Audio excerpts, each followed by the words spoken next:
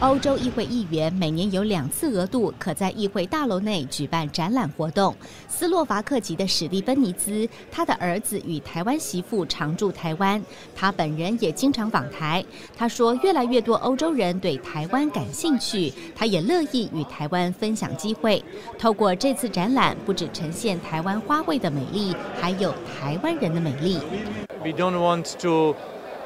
Go to the situation that Taiwan will be Ukraine of, the, of, Asia. We have to protect our values, we have to protect our allies, and therefore more and more Europeans are interested in uh, development in Taiwan. And I think also by this exhibition we can show the beauty of uh, not only flowers but beauty of Taiwanese people and uh, strengthen our relationship, uh, which is very important, uh, particularly nowadays.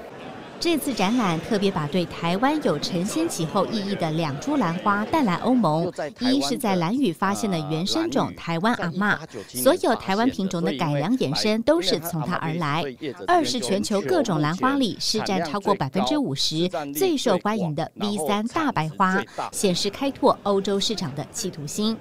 全世界每两个品种。其实就有一个品种是从台湾来，甚至每三颗兰花就有一颗从台湾来，所以在整个兰花的市场的一个产值跟那一个全球的市占，其实兰花的台湾带兰花这方面其实是独占鳌头。那我们也希望能够利用今天的这样的一个场合，然后营造我们在整个台湾，其实，在欧洲这方面整个市场的一个消费能量，然后也把台湾兰花的能见度哦，跟台湾这块品牌能够在这边。起来能够有一个很好的表现。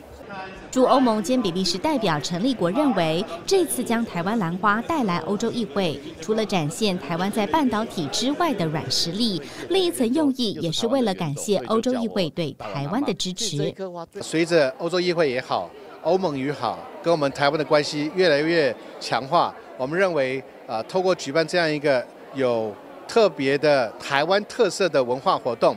可以让他们看到台湾的另外非常的呃特别的，而且是有意义的，而且有文化的实力的这一面。因为欧洲花市长期由荷兰称霸，篮协秘书长曾俊碧指出，荷兰的兰花较小朵，透过自动化栽种也不弱台湾讲究花型。因此这次展览特别选出台湾更胜一筹的大花型品系，让欧洲人留下深刻印象。